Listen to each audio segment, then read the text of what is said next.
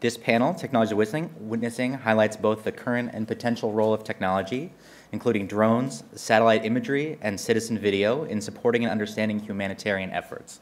Our presenters are particularly concerned with the practice and documentation of humanitarian interventions and advocacy. Our first panelist, James Walker, is a PhD student in the Department of Geography at UCLA. His research revolves around issues of governance, the geopolitics of humanitarian intervention, and the application of emerging technology in the context of international human rights work. Christoph Koettl is an advisor and trainer for technology and human rights, specializing in the use of satellite imagery and video in human rights investigations. He's also the founder and editor of Amnesty International's Citizen Evidence Lab, the first resource dedicated to social media verification for human rights researchers. Austin Choi Fitzpatrick is a political sociologist with appointments at the Kroc School of Peace Studies at the University of San Diego and the School of Public Policy at Central European University. He works on projects to promote anti slavery efforts, explore how human rights violators respond to being targeted by social movements, and how social movements use technology and Claudia Martinez Mansell is a humanitarian worker and independent researcher concerned with protracted crises and critical examination of the landscapes created by humanitarian intervention. She's worked with the UN on international development and humanitarian assistance, and recently launched the Greening Burj al Shamali project at the Burj al Shamali refugee camp in South Lebanon. So, we, um, for our first, we'll present uh, James Walker.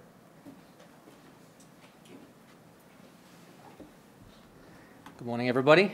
Um, thank you so much for having me. I really do appreciate it, and uh, the fact that uh, uh, I have such august panel, mem members. Uh, my name is James Walker. I am a, a, a political geography student at, at, UCLA, and I'm going to talk today about um, a concept called GeoInt, which is uh, geographic intelligence. Now, I should stay right at the start. I am a huge fan of GeoInt. I think it has tremendous uh, applications. It has incredible utility um, particularly in uh, obtaining information uh, when you can't get people on the ground. So having said that, uh, let's see if we can't poke a few holes in it. So my entry point into this uh, discussion is going to be some work done by the Peace Research Institute in Oslo. Um, there's a lot of work in the literature emerging right now over the concept of the humanitarian drone. Um, we're actually going to talk about it a little later on, actually, one of our other presenters. And there are questions raised about not so much the, as it says on the screen, the newness of the technology, but the power structures inherent in uh, the use of this technology.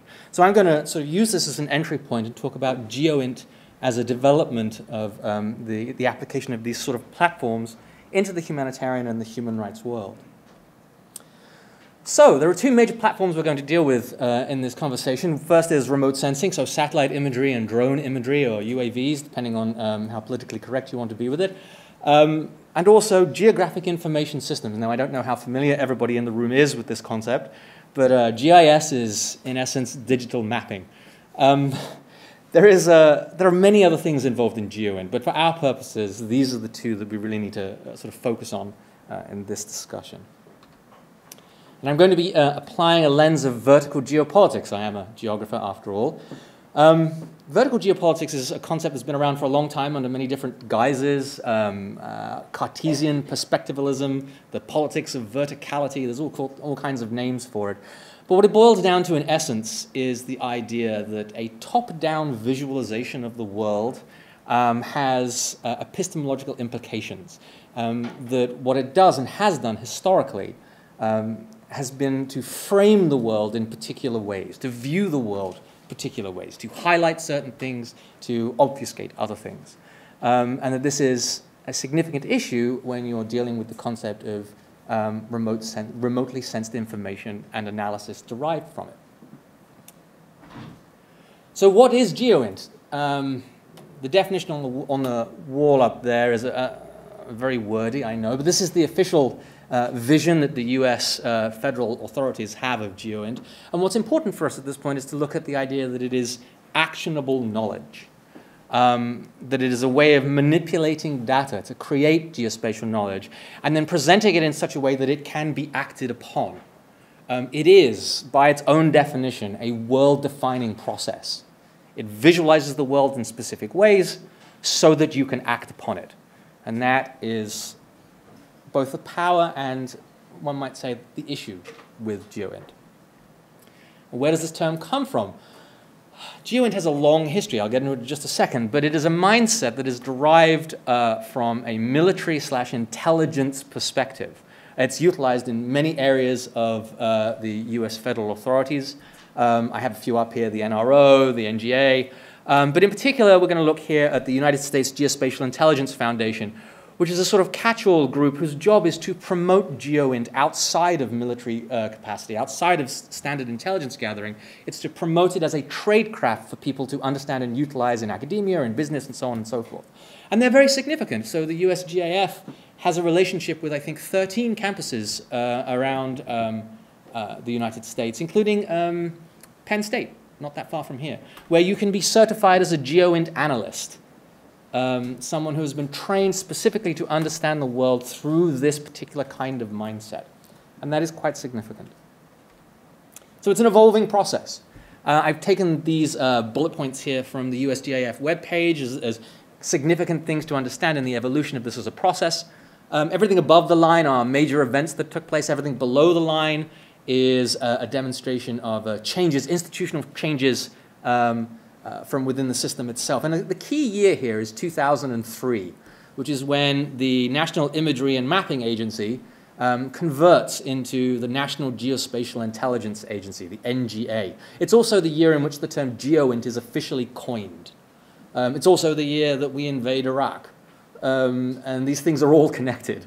Uh, and the NGA is important because the NGA becomes this very significant position within military intelligence, within uh, the security uh, apparatus because it starts to incorporate all other forms of intelligence. They get sort of subsumed into geographic intelligence. So, how does it function? Well, like most GIS systems, uh, GeoInt derives its utility from its ability to layer information, digital information. Um, so you take uh, digital imagery, which is our primary source, and then you can overlay cadastral or topographic information, uh, signals intelligence, human intelligence, and increasingly volunteered geographic information, or what's sometimes referred to in the literature as neo-geo. Um, and increasingly now social media. A lot of what happens on social media is geolocatable and therefore uh, usable as uh, data points for analysis. And that's particularly helpful if you're doing uh, work, let's say, in Syria, where you can't get people on the ground, but you can obtain uh, social media data and utilize it for analysis. Now, the thing is, it's also incredibly effective. Uh, the images you see on the screen up here are a couple of images taken from a series that were released in 1995 um, by the US State Department. And they are images of Srebrenica, or actually the aftermath of Srebrenica. And they are widely credited in the literature as um, instigating a somewhat lethargic uh, international community to become involved in, and much more involved in the quagmire of the former Yugoslavia. These are very significant images in geo, in a, Geo in a, a geo sense because they have power. Um, visual images have power. And there is the fact that they also come across as objective. There's a certain element of techno-fetishism involved in the idea that because it's because it's digitally taken, it, it represents truth. Um, so these images, possibly the, uh, the most widely recognizable geo images of the last few years, are from 2003. Uh, they represent objective evidence of uh, chemical weapons um, production in Iraq. Um, and it's important to understand that both the previous images and these images were being utilized on the basis of a necessity for a, an intervention, a humanitarian intervention or human rights based intervention into a conflict situation, or in this case, in the creation of a conflict situation. As we clearly understand, these are not objective. This is subjective material, but it comes across as objective. And the reason it comes across that way is because satellite imagery has, the, has a veneer of omniscience to it. It's what's often referred to as the God's eye view, or the Archimedean point from which all things are revealed. And as the quote on the screen says there, what it does is it obscures the positionality of the sensor. You get this vision that you are seeing more than you are actually seeing. And it kind of ignores many of the temporal constraints that may be involved in, in, in taking a shot, what was there five minutes earlier or five minutes later. Visual imagery combined with satellite, uh, combined with uh, intelligence analysis is incredibly powerful. And we should be concerned with that because it's applied.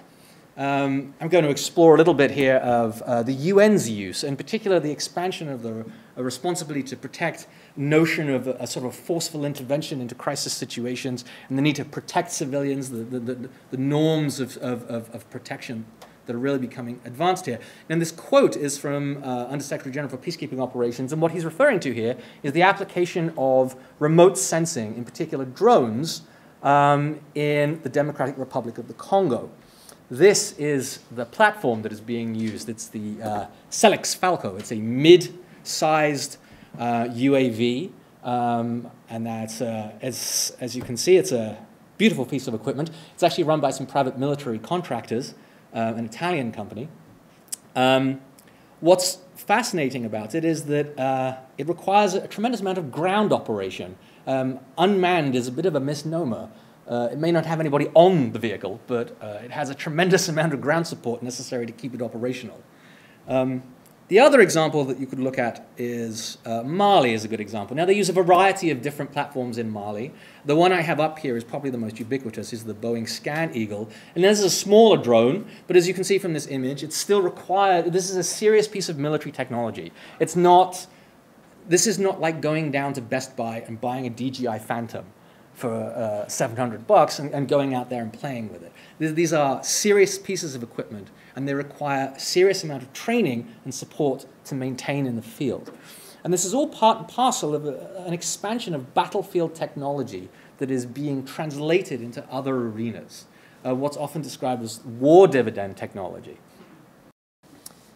And that's a significant thing. They are militaristic. Uh, this platform is um, designed, uh, the, the ones that the UN are using are not armed, but this platform can be armed. Um, it's produced under license in Pakistan uh, as an armed version. Uh, but it requires, as I say, ground support, and the people who run it, um, this is not a neutral mindset you bring with you. In order to operate and understand this platform and its usage, you have to be trained in it. And who are you trained by? You are trained by a military slash intelligence background. And that is what you bring with you. And that leads to issues of accountability. So the UN currently runs PMCs to do this. Uh, that's because there's no institutional capacity at the UN to, to utilize this kind of emerging technology. And that's problematic because they're not blue helmets.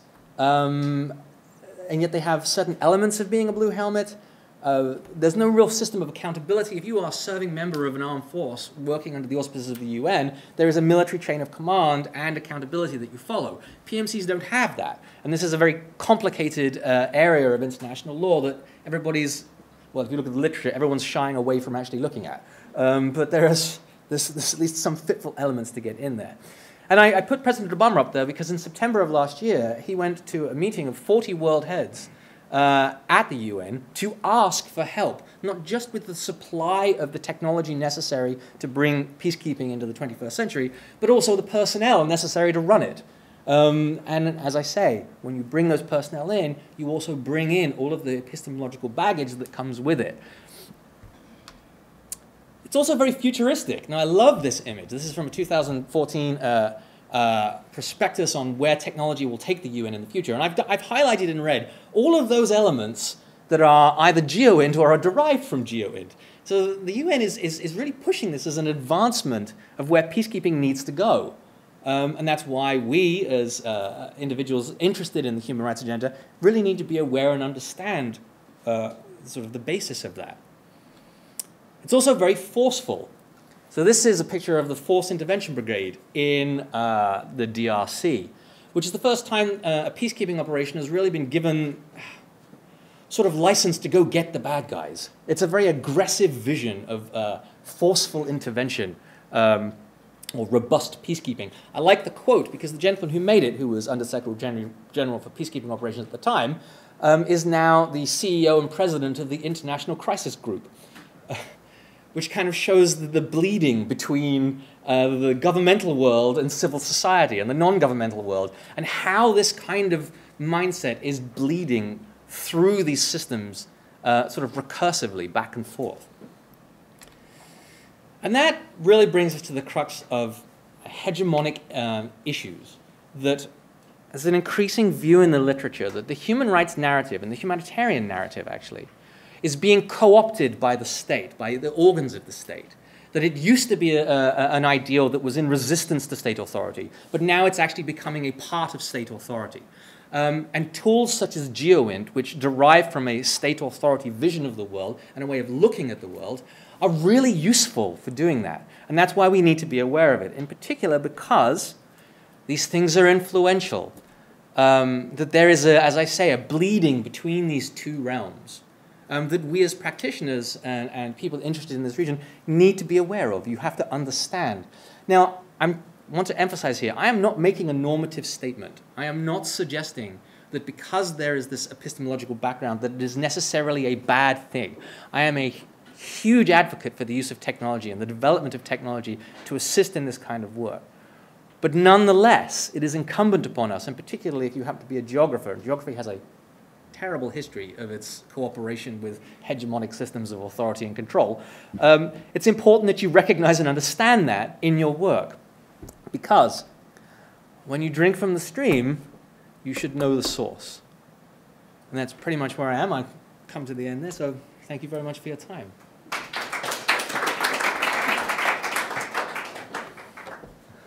very much, Koettl.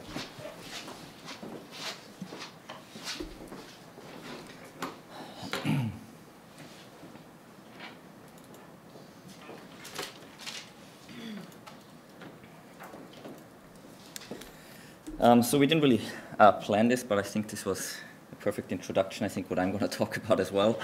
I'm focused uh, on something very specific here, which is human rights, which is obviously very different than, for example, peace uh, peacekeeping operations. Uh, but there's a lot of, I think, overlay between what James was just talking about, um, and I'm not a geographer, so I'm showing you a little bit more, I'm giving you a little bit of human rights sort of like perspective from a practitioner's perspective, how um, I and Amnesty International in general was using or is using remote sensing, but also citizen video in our human rights reporting. And if I talk about evidence, I'm clearly not talking about evidence that's used, being used in a court, but I'm really talking about human rights research uh, and advocacy. Um, so this is a, I think this goes well, uh, what James was talking a lot about, so he gave you the basics, I think, about uh, remote sensing. And I want to start with that because it's, a, I think, a very good uh, sort of strong example that I like to short these sort of talks. It's one of the first uh, uses of remote sensing by Amnesty International. Uh, and we were at that point, um, I was not on staff yet, it was 2006. At that point, we were, Amnesty was uh, documenting housing demolitions, which were politically motivated in Zimbabwe. Um, so this is a, and it shows you, I think this example shows you really well the sort of added value that remote sensing brings to uh, human rights research. This is uh, a town in Zimbabwe called Porta Farm in 2004. Um, and we were receiving a lot of reports of demolitions, and this is the same town in 2006. So speaking of visuals, I think it becomes very apparent how powerful this is, and this was extremely useful for our advocacy work, because one of our tactics normally is to really generate you know, public pressure, media attention on a specific issue. In this specific case, we did not have access to the country, so that was a huge challenge that we could tackle with remote sensing. And we've done this in other places, such as North Korea since then as well, where it's very difficult for independent observers, such as you know, Amnesty, the UN, or journalists, to go there and investigate. But also, I think another value is that you can actually do, you can go beyond the visuals itself and do a very systematic and comprehensive assessment that a field researcher might not be able to do. So what you see here, the red dots are all the buildings that were demolished, which I think was more than 800 buildings if you send a single researcher there, it's almost impossible to do that sort of uh, groundwork.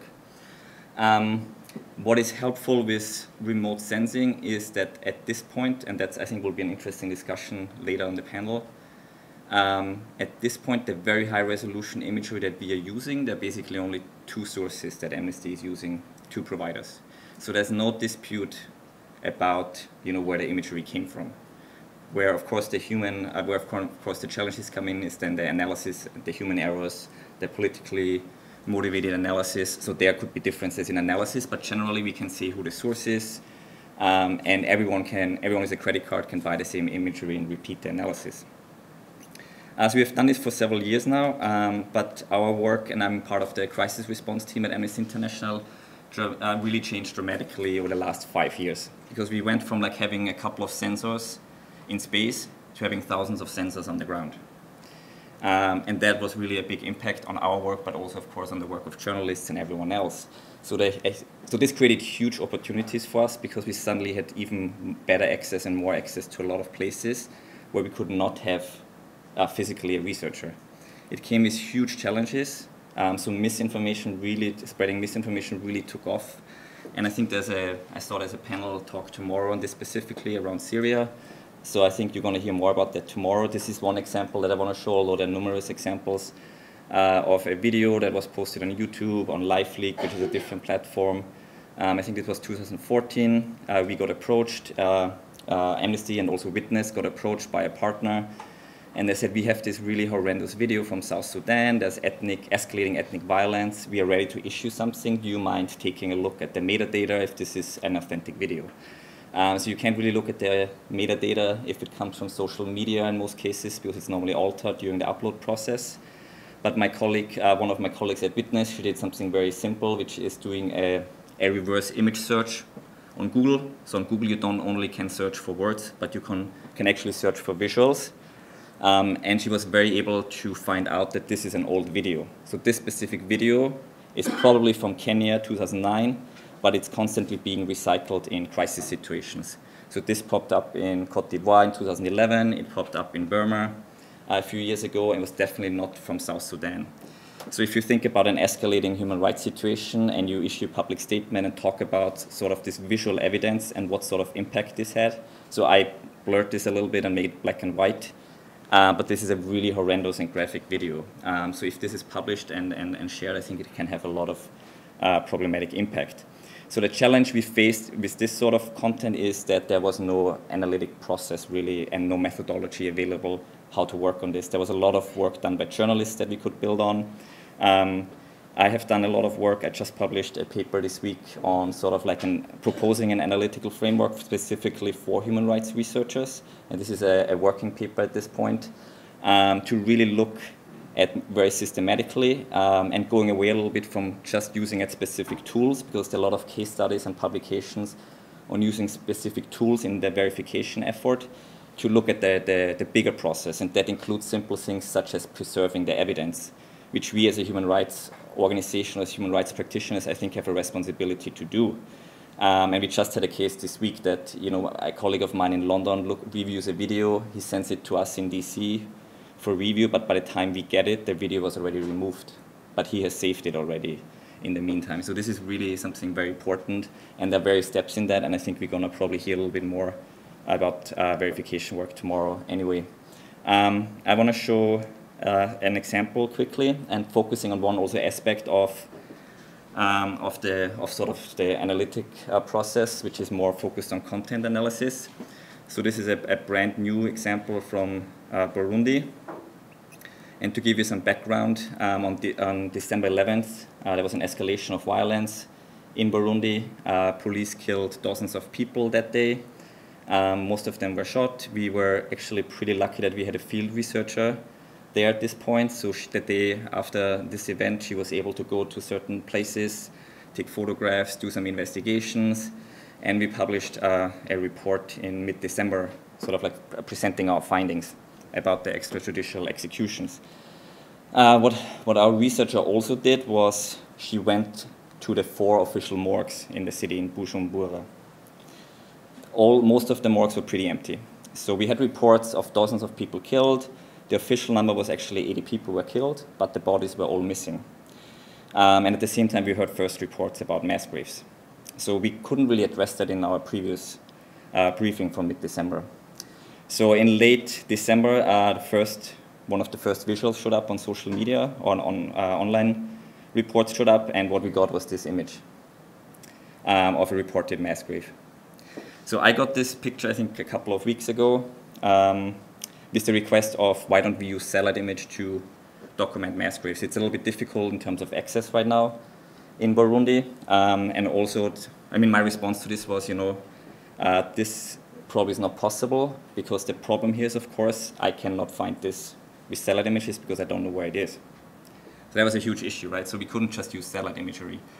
Um, another concern that I had is, I'll show you a couple of examples where, because it, it is possible to use satellite imagery for this sort of work, Um, but the definition of mass grave is a little bit blurred, I think.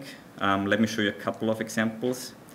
One of uh, Sri Lanka, this is the so-called civilian safety zone in 2009, which is this sort of massive uh, mass burial site. Um, and the analysis done by AAAS identified, I think, more than 900 graves in this area.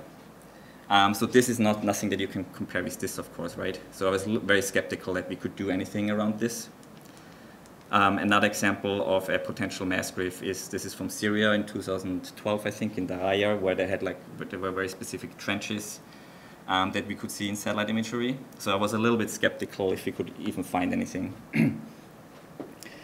so um, I was pretty lucky that we got actually a very short video of around three minutes that showed a guy walking in a field, um, and he walked towards the mass grave that you saw in, in, that, in that likely mass grave in that picture that I showed before. Um, and there's not a lot that you can work with. And if you go to like verification talks, you know, one of the first things you hear when you when you when they talk about geolocation is like you look for the landmarks, which in reality looks like this, because what you see in the video is sort of this is the one landmark you see. It's an abandoned building in the middle of nowhere. And the second thing you see is this sort of pole or mast uh, in the background uh, at some point. So this is basically all we had. Uh, one additional piece of information uh, we had was that it was that this uh, specific mass grave was next to a cemetery called Ampanda Cemetery, which is outside of the city. Um, and interestingly enough, I was not able to find uh, where, like where that where that cemetery is. So if you go to Google or Google Google Maps or Google Earth, you will not find that cemetery. And that is something that you have, that's a problem you have very commonly. So if you do this work a lot, you know your way around that, right? So there are a lot of geo databases that you can use, such as Wikimapia or OpenStreetMap, which are all crowdsourced, so people sort of like, uh, very often you have find much more details there. Um, there's something called GeoNames that has additional data, but to my surprise, I couldn't even find it there. So then I would just study Googling, which is a big part of my job. Um, and I started going to Google Earth to sort of try to find that cemetery. So you find like information on the website of the U.S. Embassy in Burundi that there's this cemetery. If there's if somebody dies, this is the main cemetery. It's outside of the city. You find another source that says it's very close to the airport. I started drawing lines that it's it should be around 10 kilometers of the, the city. Um, and to be clear, I wouldn't spend, I think, more than one or two hours doing that. If I don't find it by then, I think it makes more sense to maybe try to ask a local contact um, which sometimes is very time consuming um, and can be also like dangerous, you know, if, if, if, it's a risky situation. But after a while of doing that, um, I found this sort of space on Google Earth in satellite images, uh, which looked to me, which could be a potential cemetery. And luckily there was a geo-referenced photo included, which is part of Google Earth that said it's the, it's the cemetery. I found pictures online again, you know, like that showed the actual cemetery in like official photographs, so I knew what I was looking for you can measure the specific size of these white dots that you see, which are uh, which is uh, like gravestones, and they're pretty small, like 10 square meters, so it couldn't be a house or anything similar. So once I was there, it got actually pretty easy because all I had to do now is look for an abandoned building. And if you look around for a little bit, this is what you find. Um, and this was pretty significant for us because we started out with sort of seeing an abandoned building in a shaky video and finding this in a country of 10,000 square miles that pose can be a challenge. Um, and we were not able to do satellite image analysis until we got to this point. So getting to this point here, this is the abandoned building on Google Earth, which is like freely available. Um, nicely enough, Google Earth had very recent imagery up from November of 2015, which uh, is very unusual. So this matched up perfectly with the video. This is the, the mass that you see in the video as well. So once I had that, I was able to kind of follow the traces, the exact steps of the filmer, and with the exact location. So what we were able to do uh, from that point onwards is now we could buy satellite imagery, high-resolution satellite imagery, to look at the specific spot where the mass grave was reported after the events happened. So we got a satellite image from December 22nd, and what it showed was disturbed earth that matched sort of the visual in the video, that same disturbed Earth is not visible in the November satellite imagery. Um, if you look at the January satellite imagery, you already see that grass is growing over the suspected grave. So we also knew that like after two, three weeks, you know, the grass starts growing. So we, we knew sort of from the December 22nd imagery that uh, this was very, very fresh. So suddenly we had something very, very strong that we could work with. And that's what it's all about, I think, when you do advocacy work, because now we can publish this um, and create really a lot of media pressure. We can share this with government official. The EU summit is happening this weekend. Um, and to be clear, we did not rely like exclusively on a satellite image here. We did not exclusively rely on a video here. But we had like three pieces, which was the satellite imagery, the video, and of course eyewitness testimony and bring these three things together. And that's sort of the, also the layering that James was talking about, like these sort of different layers of intelligence, allows us to really build a strong case. So I'm not showing anything more about the mass grave because it will only be published at 4 p.m. this afternoon. So you can check out our website or probably read it in the in the news as well. Uh, yeah, I think I'm stopping here.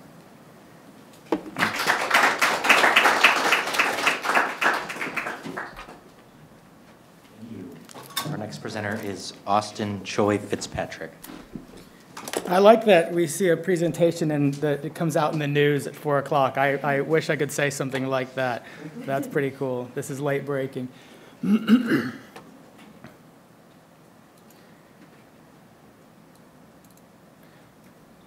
um, I'm Austin Choi Fitzpatrick. Will these cameras follow me if I walk around? Can somebody tell me that? You shouldn't walk around. I shouldn't. The live stream, you need to be next to I can go like this. It can just walk with me. Um, I'm Austin Choi Fitzpatrick, and I um, at the Center for Media Data and Society at CEU, where I was an assistant professor until I moved to School of Peace Studies uh, at the University of San Diego. Um, and I'm here to talk about drones and to really drill in very specifically on how they're used. And so um, the broad question is here, I've got it here do drones fit into Human Rights Advocates Toolkit? The answer, which you already saw, is yes. The question is how, where, why, and so forth. So I'm going to start with a bit of um, sort of the way that this project started, which was in uh, Budapest, where I was a faculty member at the time of a large-scale uh, tax protest, a, ta a, protest against an internet tax that would have put a do- what essentially a euro per gigabyte tax onto the bandwidth that was used on, on digital devices and in homes across the country. And this is an attempt by the, or, the Orban regime to um, increase revenue and offset uh, budgetary gaps, and was the first time that a large scale crowd turned out in protest of an event like this. Crowds turn out on a regular basis, but large scale crowds are something that um, happen less often under this regime. And as a social movement scholar, I thought it'd be interesting to go out and take a look. so I did. I mobilized some students and I, I bought a drone. And then we did this. I promise we did this.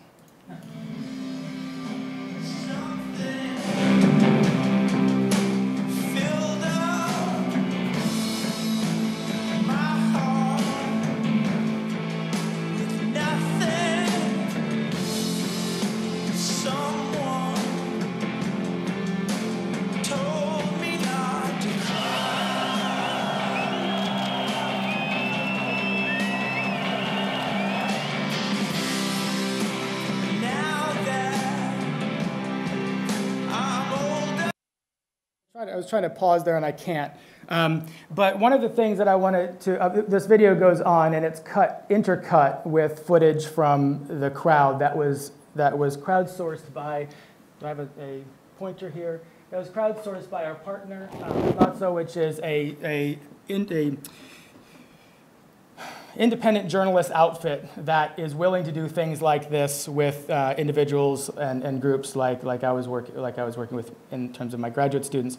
So they took a risk on working together with this footage, and this is a second video that we made, the first of which documented um, violence, and, and we were able to put this onto the web within 24, 48 hours, and it got lots of attention about two days, two, well, about six, six days before this event actually happened. And this was a large event that was disputed in the news. How large was it actually? The regime says it's small, the movement says it's the hugest ever, and there's really no way to tell if you're one of the people that's down here in the crowd. You have this feeling that something's happening, but how large it is is disputed, and this is something that happens to movements across the world.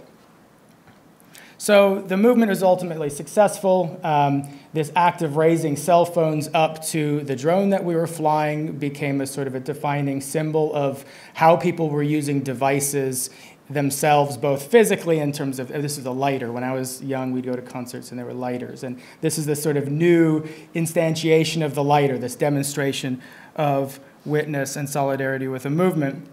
Um, in the end, from a social movement perspective, uh, the movement was successful. A new tactic was developed, this holding this, this, sort of the phone, holding it up to the sky, which previously there's not something in the sky filming, so why would you point your phone with its, with its screen fully lit at the sky?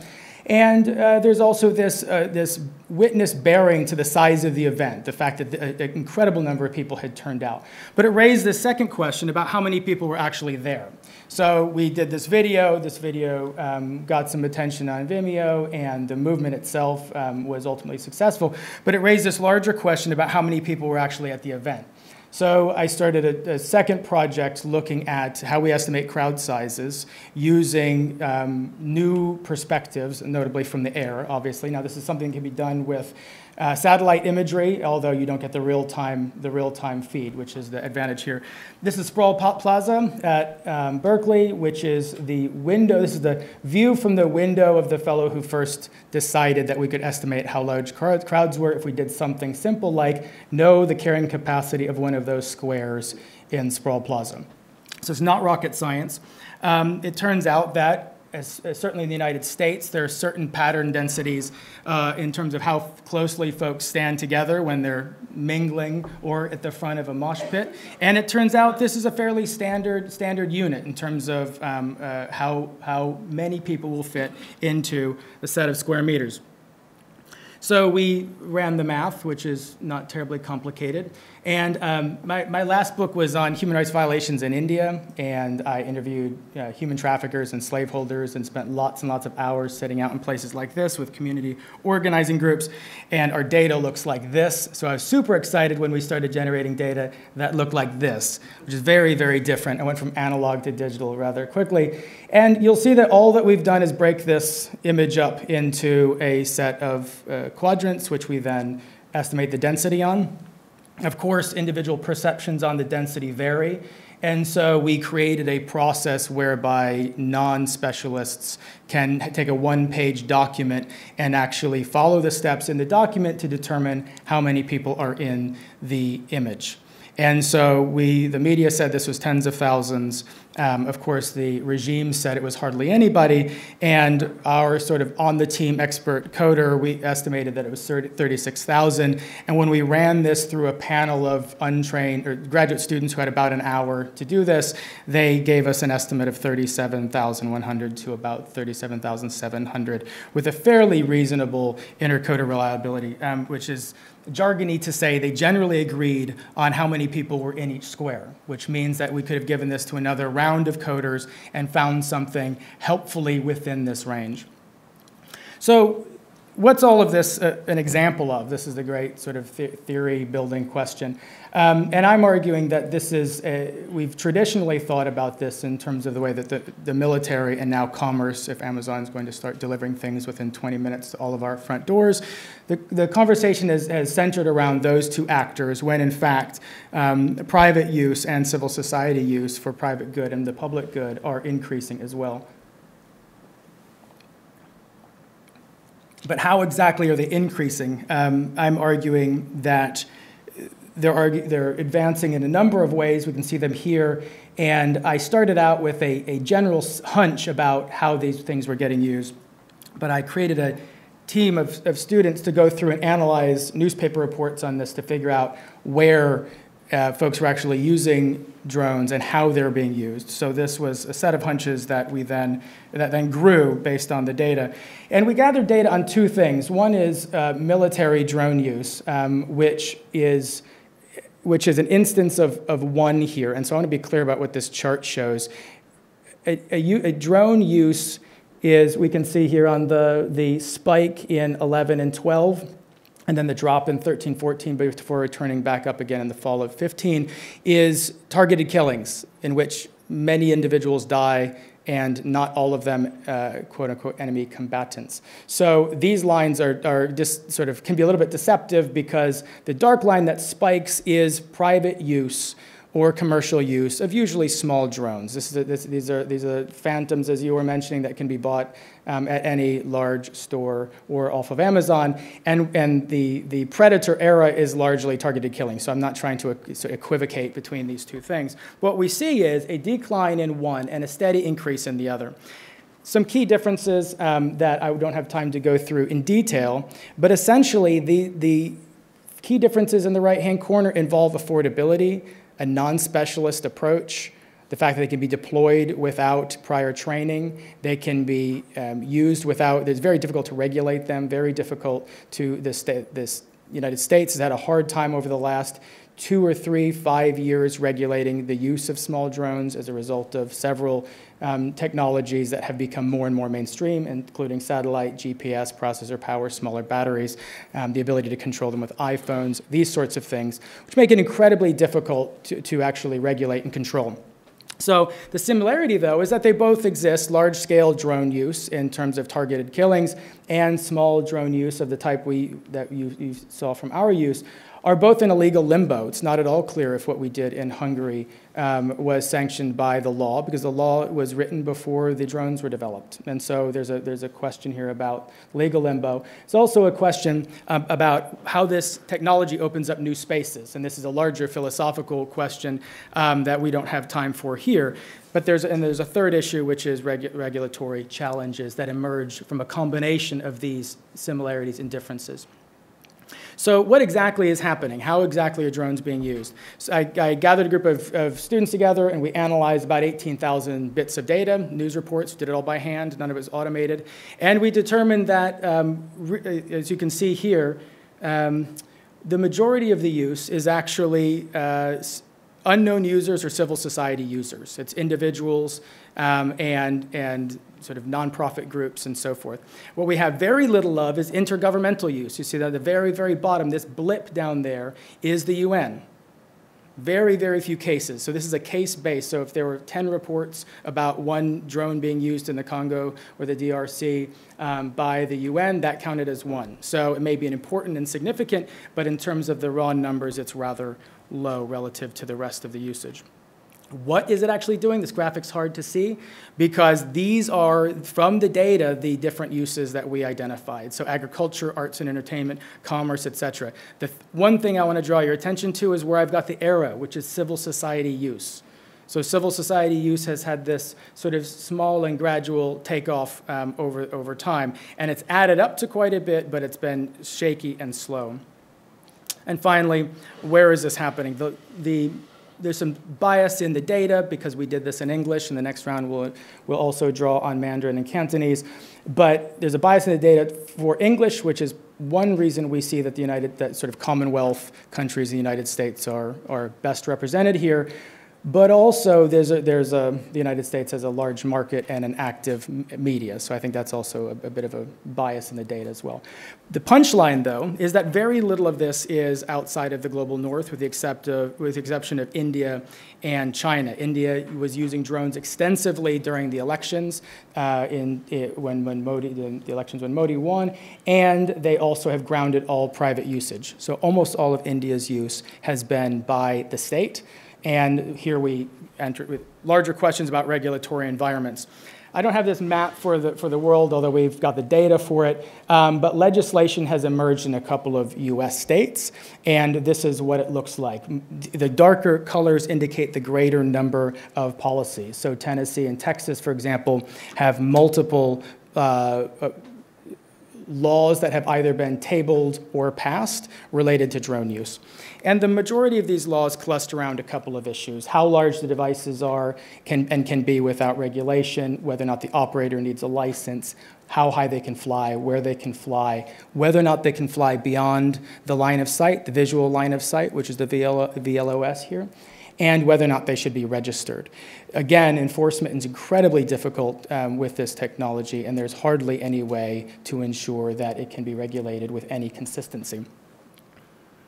Um, I'll skip this, but I've argued in, in, an article a couple of years ago that drone use by civil societies should follow these six principles, um, which essentially ensure that drones are used in, with, with, in an ethical way. And then I'll skip the future because what would we do with it anyway? I don't know. Um, I appreciate your time. Thank you so much.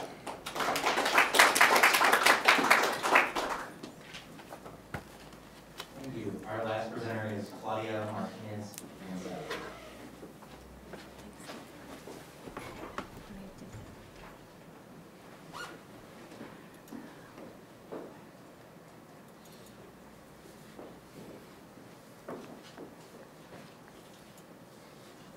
Okay.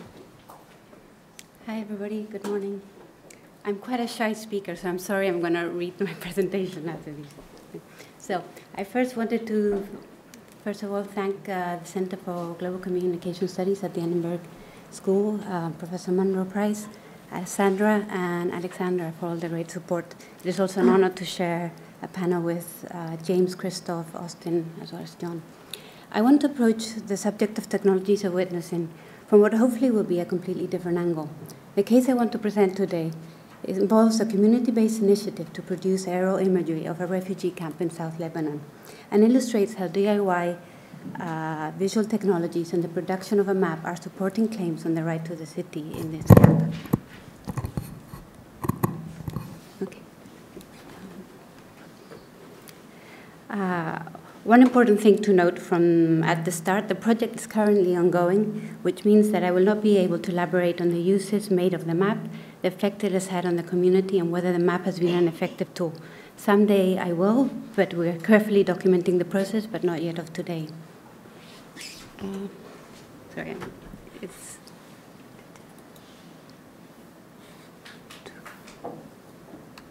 Okay. So briefly, just a little bit about uh, Burj Shamali. Um, Burj Shamali is located three kilometers uh, east of Tyre in South Lebanon and has approximately 22,000 Palestinian refugees. Like the other official refugee camps in Lebanon, Burj Shamali suffers from serious problems. It has no proper infrastructure, overcrowding, poverty, unemployment, and food security. Unemployment is around 60%, as refugees in Lebanon are forbidden to work in all but the most menial of jobs. The camp thus has very poor living conditions and is affected by an absence of civil rights and by a lack of access to social services. Building and rebuilding in and around the camps is strictly controlled, relegating many refugees to substandard housing, uh, housing in overcrowded and unsanitary conditions. The population of Burj Shamali is actually originally from an agricultural environment, but camp residents have increasingly grown detached from the land. Diets are worsening, and cases of malnutrition have increased. To add a further level of complexity, large numbers of refugees from Syria have now moved into the camp. The arrival of these twice over refugees has resulted in a deterioration of the already crowded living conditions. The project started with Al Hula Association, one of the local NGOs working in the camp, and the base for the local camp committee that is working to improve conditions in the camp. They then asked me for my help to work with them on two projects to launch an urban agriculture pilot project and to create a green space in the camp. The request from Al Hula came to us to no surprise. I have known this camp since 1998 when I first worked there as a volunteer. And I have visited or supported it with a number of initiatives through the year. The reason for their request also had a strong logic. This NGO, although doing great work in the camp, was finding it hard to tap into funding to realize some of their bigger ideas. As a, as a, local NGO, they felt overwhelmed by the number of international NGOs now working in Lebanon. I, having worked for, eight, for eight years with FAO on World Food Program, both UN agencies on food security and agriculture, and to start planning an urban agriculture pilot project and a green space, we needed a map. We needed to be able to visualize what spaces we could use and where we could get water. We needed to understand the stormwater situation in the camp and so forth. I was surprised to discover that this was the only map available in the camp. This is a camp that has been in existence for 60 years. I was even more surprised to discover as I investigated further that there are actually maps, but they're not online and they're not shared with the camp community. I will come back to this point later. Still, for the purpose of the project, the only map we had available was this one, which shows the two main roads um, and little else. In addition, because the camp is a small and extremely dense space. Current aerial images from Google, for instance, are not of high enough resolution to distinguish the narrow streets and the buildings. So I just included, this is OpenStreetMap, and this is like aerial images. And basically, it's sort of the big dense blob on the side, which is a camp. Um, so working with Al Hula Association, we decided to make an aerial photography map of the camp. This would help us in two distinct ways. The map would help us visualize the situation in the camp and would be used in focus group discussions to consider the potential of urban agriculture in the camp from a spatial point of view, helping to identify locations that inhabitants thought would be good for growing plants and allowing for discussions on alternative uses of the limited space. As a second thing, we also wanted a community produced map. We hoped it would also have the potential to serve later as an advocacy tool for the camp alongside the results of the urban agriculture pilot project. But soon afterwards, new functions for the map were added by the local camp committee. Burj Shamali is currently going through quite a particular and inspiring political moment, one that reflects several factors the stalled negotiations between Israel and Palestine, the increasingly remote prospect of a negotiated agreement on the situation of refugees, the defunding of UNRWA, and finally, local frustration with the wrangling between Fatah and Hamas, which has led to political paralysis within the Popular Committee in the camp.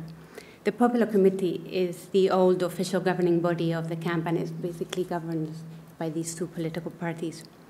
So there's a new good camp committee with whom I'm working, and who, that has no political official affiliation, and has involved numerous people around the camp to work collectively to improve aspects of daily life outside of politics. Their main concern at the moment is the situation with electricity supply, and so they expressed interest in having a map that would also help them to organize the camp into different neighborhoods to help visualize priorities for each area and to assist in efforts to maintain the camp infrastructure and to understand better how the camp has been built and to prepare for disasters. As my discussions with the community went on, expectations for the map were gradually increasing, and my concern was that I'm not a trained geographer or a mapper. So, with the support of Public Labs Network, I taught myself how to make aerial photos. And in turn, I taught of, and facilitated a group of youth from the camp who actually did the mapping. Public Lab is an open network of community organizers, educators, technologists, and researchers founded in 2010 as an open source grassroots data gathering and research initiative. Their aim is to democratize inexpensive and accessible do it yourself techniques compared to the humanitarian OpenStreetMap or Ground Truth or Map Kibera. Public Labs tools take a different, more low technology community mapping approach. Balloon mapping is one of their tools. It's a low cost and simple technique to produce high resolution images of an area. It's basically a do it yourself satellite imagery. And the equipment you need for it is very, very basic. I mean, in Burj Shamali, we spent 450 US dollars, of which it was either self funded or paid by Al Hula Association. I mean, the main expense was um, uh, helium. Um, the process is also very simple, and it basically involves attaching an inexpensive digital camera to a balloon or kite, which is left to fly at altitudes of up to 4,000 feet. I am happy later in the Q&A or in person to sort of go further into it. At Burj Shamali, we sort of took photos from all over the camp, and one of our main challenges was the physical aspect of the camp. In an ideal setting, there are no obstacles, and one can cover large areas just by walking around with a balloon. But in Burj Shamali, um, streets are narrow and therefore difficult to maneuver with a balloon.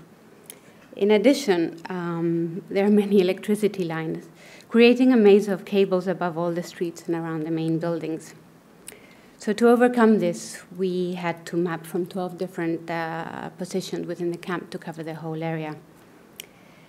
Once you have the images, Public Lab has created a simple open source MapKnitter program to stitch the images together. It uses a default Google Maps view uh, on which the new high quality images are then superimposed. Once that is done, the program helps you to produce a big GeoTIFF image. The tool was first developed and tested by citizen activists on the Gulf Coast of the US with the Deepwater Horizon spill. I believe the mapping of Burj Shamali is the biggest use to date of the technique in an urban environment. The image quality um, here, there's one of their images that we took, sort of more or less the equivalent of sort of what you would see in Google. Um, and so we are at the, at the point where, at this point in Burj Shamali, we have com- a complete stitch aerial photo of the camp, and we're sort of moving into the next steps. A photo isn't just isn't a map. So starting next month, we will be interpreting the images and the data in order to produce a final map with the local committee and the community through workshops. A few issues that I'd like to highlight. Um, Maps have long been an essential tool in support of colonial projects. They aid in the reinforcement of property rights. They permit the organization of military operations. The same can be said about aerial photography. It is unsurprising, therefore, what, that refugee populations are often uneasy about the security implications of mapping. Who will use this map you're making and to what ends? This concern was definitely there in Burj Shamali. A number of people were initially quite suspicious of the project. It was therefore essential that we were working under the supervision of the local committee. This helped to dispel any concerns. A major effort was mounted by key members of the local committee to inform the community, both by speaking to the various factions within the camp as well as the Lebanese army. This took time. The actual mapping only took a few days, but the preparatory work took over a month and a half. My long term connection with the camp also helped allay concerns. Still, one day when I was mapping out with my two best mappers, Firas and Mustafa, a young man came up to me and eyed me suspiciously and asked if I was from the Mossad. Firas and Mustafa cracked up and asked him if he thought it very likely that someone from the Mossad would have some would be in the middle of the camp mapping with a balloon. Another time, our big red balloon apparently presented an irresistible target to a group of youth horsing around in the camp. They shot it down with a pellet gun. So um, they are fragile, the things. But taking security implications into consideration, the committee therefore decided that a future map will be in paper format and for the time being would not be available online. The committee is keen to have something that they can share with the community and visitors, in opposition to the secrecy with which the international community is handling maps of the camp. For the UN has in fact produced maps of Burj Shamali, but they're quite difficult, quite a difficult commodity to, to get your hands on without getting into the detail, and I am myself a former UN staff member, I was quite surprised by their, their refusal to share the map with the community. The intent here, I'm sure, is not malicious, and security is a legitimate concern, but such policies also perpetuate the notion of the camp as a dependent and passive beneficiary. It perpetuates their dispossession, depriving camp residents of control over their geospatial reality. This is not just the UN. If you look at the A to Z of Beirut, uh, which is here, you will note that the camp in the city are left as gray blobs on the map, which also perpetuates the sense that they are knowledgeable and, in a sense, non existent places. Uh, in Burj Shamali, where the local community was trying to be more active in improving living conditions, the map therefore turned into a symbol of their previous lack of tools capable of legitimizing their knowledge of, of and authority over their spatial environment. The map is seen as a means of representing their spatial competence, creating a social discourse function that will allow them to communicate in specific situations and with a conventional sign system that outsiders understand. In addition, in Burj Shamali, the low technology aspects uh, of balloon mapping made it particularly appealing. While at first there was some disappointment at how low tech it all was, this all soon made our work with the community feel less threatening and more approachable. It also soon required the involvement of the whole of the community, from the carpenter who constructed a case to protect the camera while it was aloof, from the physics teacher who was telling Firas and Mustafa better techniques, from the local seamstress who fixed one of our kites, and the local tire shop that helped patch the balloon after it was shot down. In addition, we were also invited to people's roofs and homes constantly as people wanted to partake in the initiative. In addition to this process, the community of Burj Shamali is also taking an active role in the full data cycle, from question formulation to data collection and hopefully soon in the analysis of the results. Mm. This is therefore creating a sense of ownership over what would normally have been an exclusive and unengaged scientific process. Still, low technology in citizen science is not easy, and at times it is more labor intensive than one would want. At one point, it was suggested that we contact a Thai photographer who was now using drones to photograph weddings.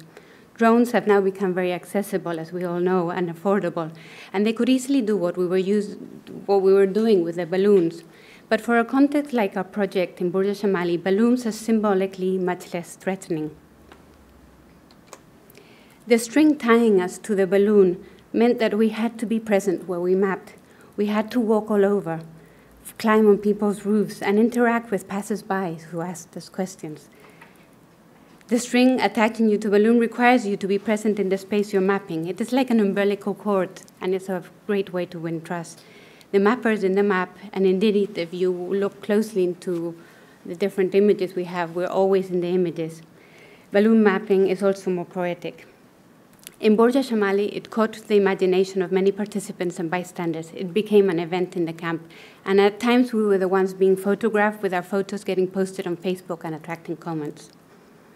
To conclude, one of the most fun and enriching parts of this initiative to date has been the response of the community and the idea that creating a map does not require high technology. For the youth involved, bypassing the governmental and corporate control over geospatial information that shapes how we imagine urban space was particularly appealing conceptually. In addition, in a society where youth find it hard to contribute, my team was chuffed to be given a role in producing something useful for the community and to be given the space to confront difficulty, solve problems, and experiment. For the camp committee, especially its more senior members, enthusiasm sprang from changing the perception of their community and of themselves as helpless and ineffectual. It was vital for them that they saw themselves not as beneficiaries of an outside technology, but as partners and co creators of the solutions to their problems. Thank you. Sorry.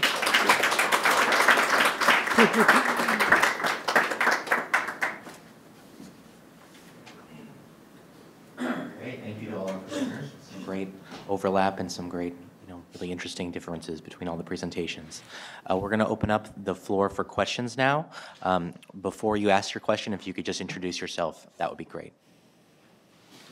Hi, um, my name is Jessica Lingel. I'm an assistant professor here. Um, thanks so much for those talks, which were really um, wonderful. Uh, I had a question for all the panelists, which is something that I've been trying to think about a lot um, in activist work and also thinking from an information science viewpoint, which is uh, sort of like the danger of visibility.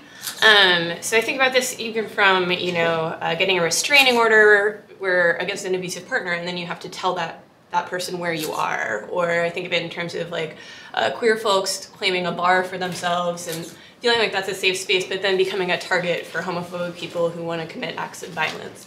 Um, so on the one hand, it's exciting when uh, GeoWeb projects start, you know, and their voluntary programs, and I totally understand um, what the last speaker was talking about about the excitement around participating and the excitement of becoming visible. But I also worry about what happens when that visibility means like you can get taxed and you weren't taxed before, um, that the one power can come find you, um, that you suddenly your movements can be restricted. Um, you know that it can be a way of uh, you know now uh, your enemy or uh, someone in a position of power can come find you and, and commit some kind of harm in some way. So I don't know how to reconcile those two concerns. So I was hoping you guys had some answers. I, I got a lot of concerns. I don't know if I have any answers. Um, I think in the context of the um, work I've been looking at with, say, in the context of uh, the work I've been looking at uh, with sort of the UN and, and institutions like that um, using remote sensing data, there's been a lot of concern raised amongst uh, the humanitarian community about how this information is stored, who gets to see it. Uh, one of the things that's not talked about um, as much as it should be, perhaps, is the temporal nature of this. Because once it's gathered, it's around for a very long time.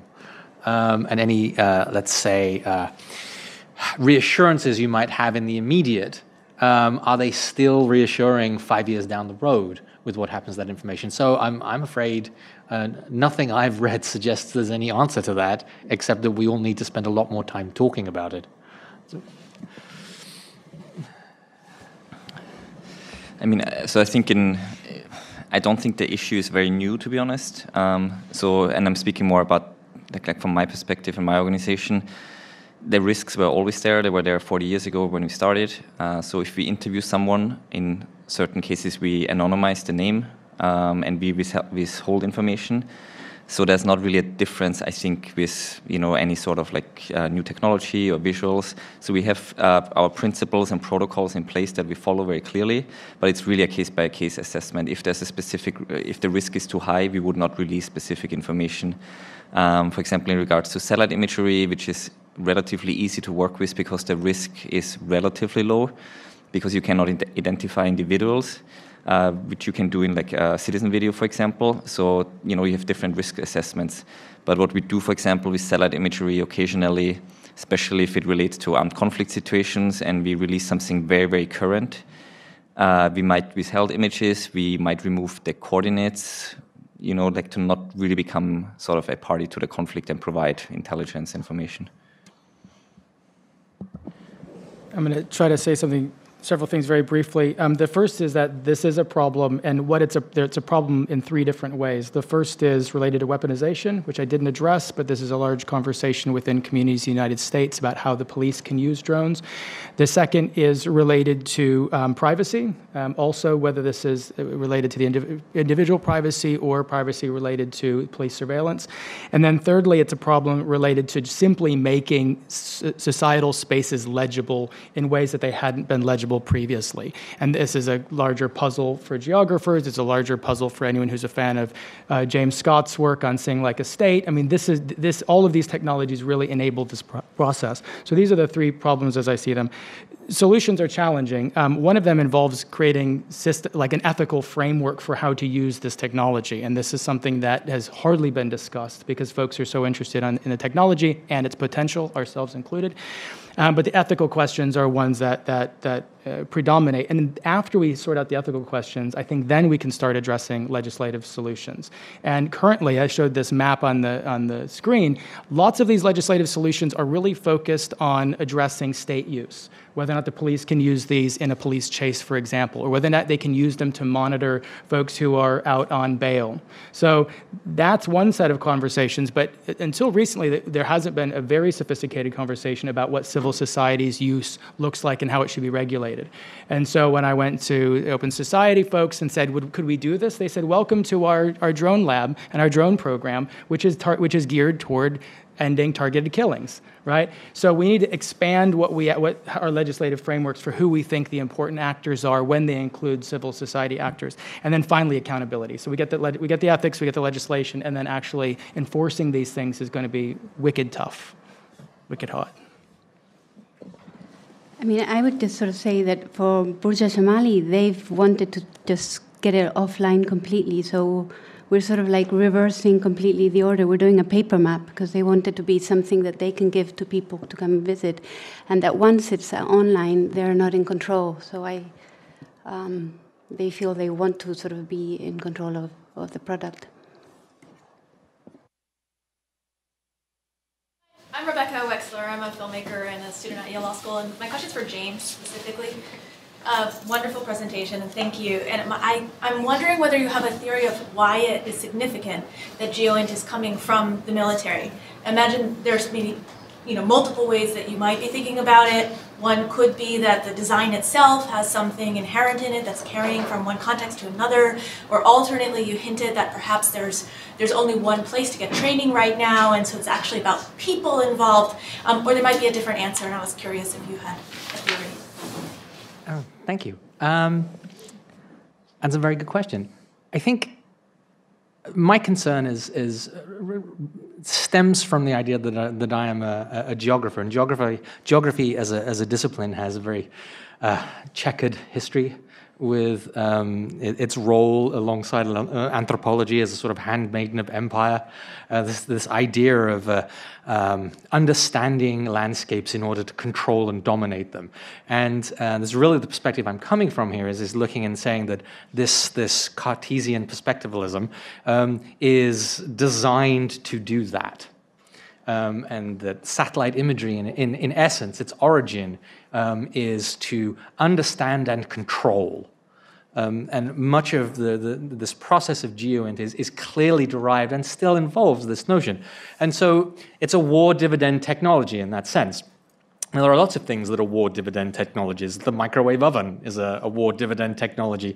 But the difference between a microwave oven and um, satellite imagery is satellite imagery is very influential in how you view the world, whereas a microwave oven just cooks you dinner. So um, the, the, the, technologies are not equal, um, and the, uh, the mindset is not neutral. Now, there are lots of places to be trained to do satellite analysis. You don't have to have a military background. There are lo- well, Chris here does satellite analysis and does not have a, a, military background, as far as I'm aware, right? Who knows, right? Um, the issue is, is more to the point that uh, GeoInt is being actively pushed into society. Like the USGIF is, is very clearly promoting this concept as a tradecraft. So there is, this, there is this idea that it becomes a profession, a defined profession, and one that has a very specific lineage. Um, and as, um, as I'm sort of drawing in my, in my presentation, this, this, this connection between how civil society and, and, and um, the authority of the state is becoming intermingled in ways that it perhaps hasn't necessarily previously, um, that this is one of those technologies that really accentuates that, that is useful in that sense. So I, I don't think it's exclusively that way, uh, but I do think it's. Um, in, uh, there is a sort of predominance to it in, in some of the ways in which it's applied. Uh, does that answer the question? All right. Thank you. In the back? Uh, my name is Sharon. The, I, I loved, Claudia, how you described the balloon as an umbilical cord. And your presentation, in some ways, was great. Kind of in the in the, uh, I'm becoming more of a feminist as I get older. The, the kind of gendered politics of the so-called omniscient gaze of the drone. So I wondered if we could take Claudia's kind of beautiful sense of the embodied dimensions of this seemingly unembodied gaze and reflect back on it, the kind of gender politics of, of your of your of your work across the panel. That's to you.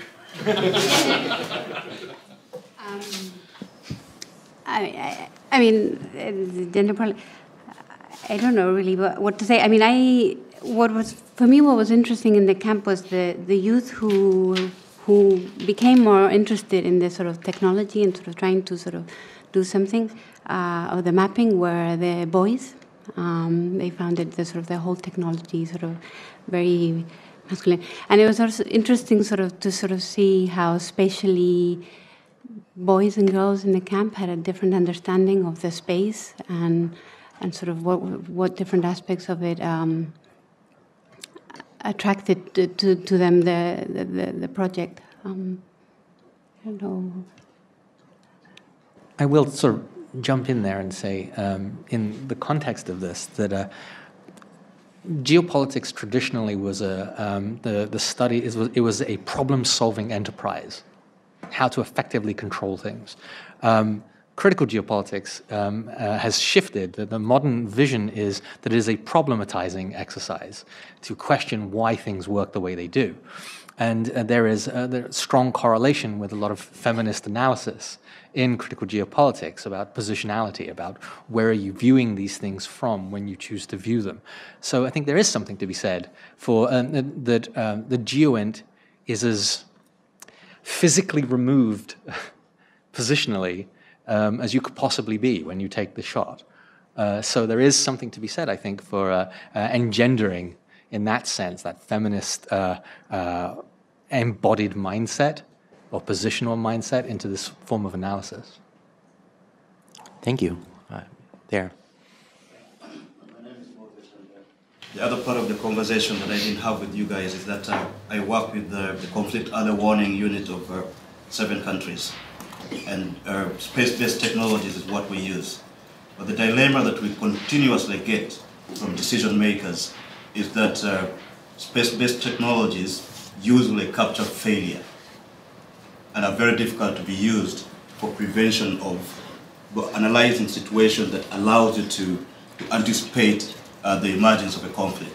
So what I wanted to, to know from you folks, because this comes up again and again, uh, how, how you see that, how, how could you deploy space-based technologies in such a way that you're able to anticipate uh, the, uh, the, the, the, outbreak of violence in a particular area. That, that's one. The second relates to, uh, to, to, crowdsourcing. and I, I know that the context we're talking about here are quite different, but uh, crowdsourcing in a lot of Africa is believed to work best in areas of high population density. And most of African geographical locations are quite heavily sparse. Most of the people don't have uh, uh, access to the kind of uh, gadgets that would allow you to crowdsource. Yet it is presented as the be-all and all. So another comment on that, uh, and the last one relates to drones, and still could go across across board. Uh, in most of the countries we work in, we get told that there is actually no uh, legal lacuna with respect to the use of drones. And they say, should you fly a drone in this area, we've got uh, privacy laws, we've got laws relating to communication, we can prosecute you under any one of those. Because it all comes down to collection of information, which is regulated by the state. So again, comment, is it an issue of a lack of, a lack of uh, legislation or a lack of enforceability that we're dealing with? Because the responses are different. Um, does someone at the end want to go just because you haven't answered the last one?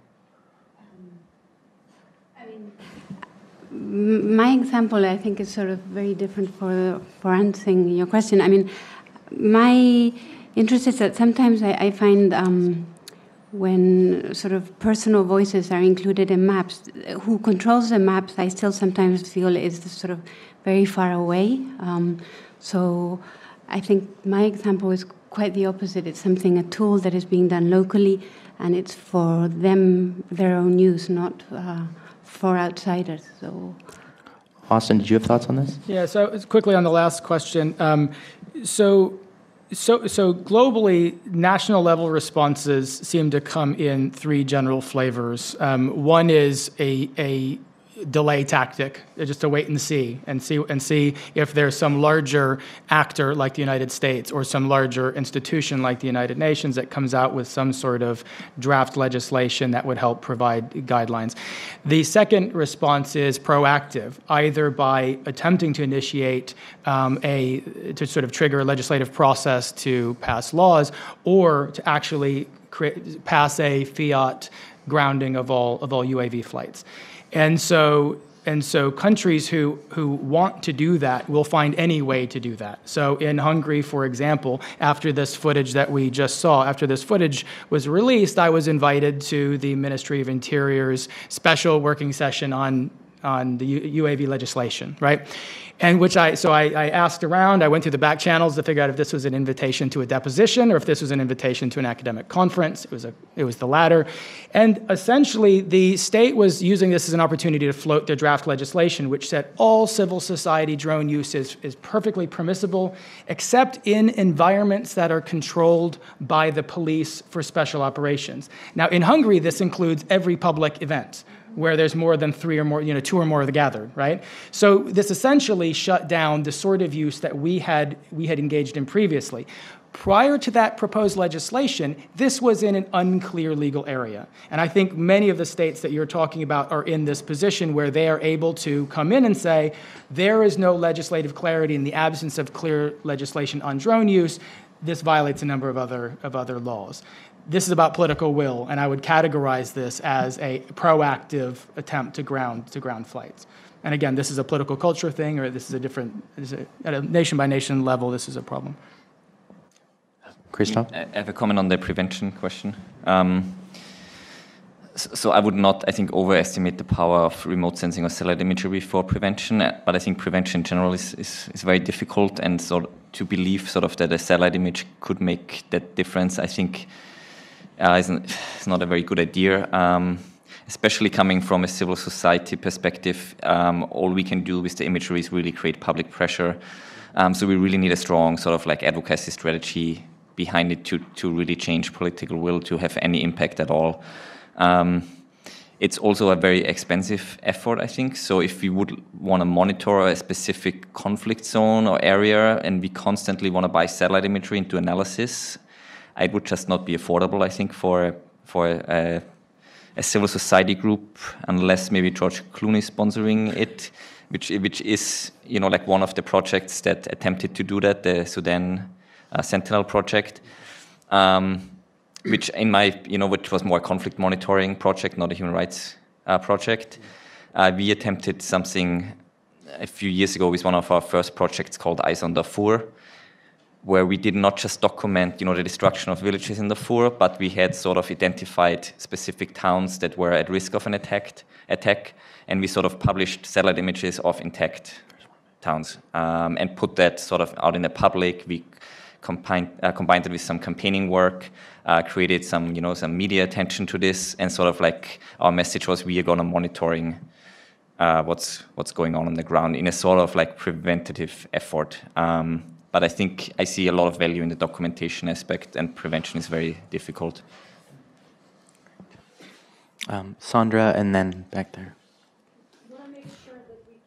some of the questions that are coming in from the live stream. So this is from somebody who is watching the live stream. Uh, the person asked, do the panelists think that journalism practices that involve using geotechnologies strip people of their ability to consent to exposure? And basically, how does geotechnology impact the ethics of journalism? Austin? Um, so I, I could say something briefly on this. Um, I don't know how this, how you all uh, address this, and I think it's not an issue in most um, lower res satellite imagery. But we have a best, an unenforceable best practice to not activate a camera until it's above 100 meters, and and and this that number is rather arbitrary because it's tied to the quality of our camera sensor, uh, but essentially to an altitude where individual features are indis- indistinguishable, and so you can tell generally what people are wearing, but you can't tell what people's you can't visualize uh, identify people visually if they look up at the device. So you're also high enough that it's quiet, and so people don't notice, which is a problem back to this question about whether or not people know they're being watched, but it also means they can't be seen, they, they, they can't be individually identified. Now, I tell you that's what we do, but again, back to this regulatory challenge, maybe we don't. So I'm, I'm not a journalist, but just one quick com uh, comment. As I mentioned before, so I work mainly with satellite imagery, and you're not, which you normally you normally get informed consent from an individual. So you don't have that specific challenge. Um, again, I, I, totally agree that there are some risk considerations, so we're looking at that, but um, we normally don't have that challenge. I will also quickly oh, say sorry. I am I am not a journalist, but uh, a little like uh, Chris was saying earlier, this is not a new issue. Um, any film crew out there going to an event is taking images of people. Um, this is something that has been around for a long time. Does this technology make it uh, more complex? Yes, I think it probably does. But I think this is a question that journalistic ethics has, has, struggled with for a very long time, and I'm sure will continue to do so in the future. So. Um, I think in the case of Burj Shamali, I mean, we got such high resolution images that you could um, identify people and you could, you know, uh, I mean, alleys in the camp are person wide, so we had to get to really high resolution. Um, we're not publishing it, where it's just for the community's use. So that aspect we're sort of um, avoiding, even though there's been such so much interest that we've had a lot of people sort of politely and sort of less politely sort of trying to get us to hand over what all the imagery that we have uh, because it's so much uh, information. So yeah, there's a very very big ethical ethical um, question. And as as the map of um, the A to Z in Beirut, I mean, it for me it perpetuates the dispossession of the Palestinians in these camps um, as places that you don't know. So I think in a way, what I what I've been enjoying of this project is kind of reversing that whole process um, and having the community be the one that has the best information outside. And then uh, back there, and this will uh, likely be the last question. Uh, anthropologist and current affiliation at Columbia, but visiting here. So, two-part question. As for the three um, broad-scale technology uh, um, panels, I wanted to know, as um, presenters and analysts of this technology, how do you grapple with the absence of the human, what I consider the absence of the human in this kind of macro technology and the depersonalization, particularly in human rights issues and violations, which is completely predicated on the erasure of the human. And to the last um, presentation, which is which I see is very concerned with putting the human kind of back into this technology um, uh, by ownership and the scale of it. How confident are you um, that that the, these processes and not putting them online can stand up against um, these other forms of witnessing? Thanks. Um, I have a very quick answer. I think you, it's a, your first question is really interesting and really important. Um, so what we do is we normally always put a human story uh, front and center. So if we release um, a new briefing and press release on a mass grave in Burundi, the headline might be on satellite images, but if you read through the briefing, the majority is individual stories and testimony. So it's a mother telling the story of how her son was dragged away by security forces and she hasn't seen him since. Um, and this is some, this is the only way I think we can do successful campaigning and, and advocacy work um, to tell this sort of human human stories. And I think just using satellite images would not would not be enough um, to really sort of like create the sort of uh, reactions that we want. Uh, because we're a grassroots organization, we want that people, you know, do something about a specific situation. Um, and I think with, with just with technology alone um, would never like bring about any any change. Uh, I'll, I'll, say briefly that uh, my research interest ha has a human element, and that human element is um, the civil society actor itself, as opposed to uh, uh, the person being acted on behalf of. So, what I'm particularly interested in is how um, emergent technology can be used as a lever by civil society in the international realm, how it affects notions of sovereignty. Um, and so, um, I'm particularly interested in, in, people like Chris, actually, on what he does and how his organization functions with new technology. Um, so, it's a, a, different kind of perspective, um, but it has a very human element, and that, that element is the, is, the, is, the, is the actors. If that makes sense. Yeah. Austin, or, or did you?